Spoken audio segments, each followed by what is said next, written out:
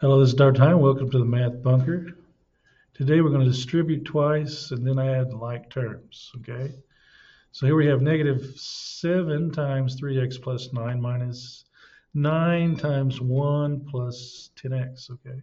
So negative 7 times 3x, do that first.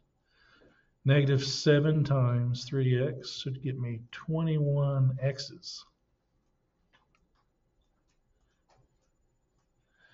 Then I'm going to multiply negative 7 times 9. Negative 7 times 9. Again, a negative times a positive is a negative. Negative 7 times 9 is 63.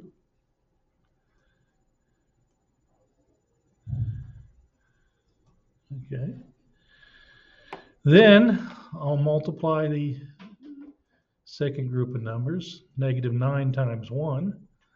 And that's again a negative times a positive. That'll give me another negative number.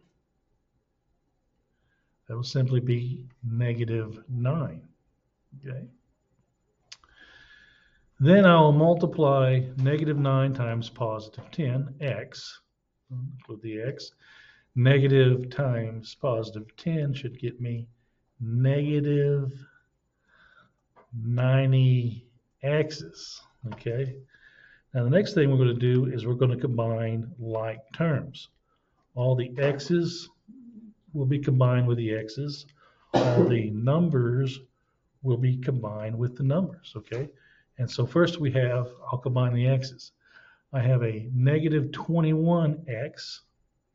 I'm going to combine that and add that to negative 90x.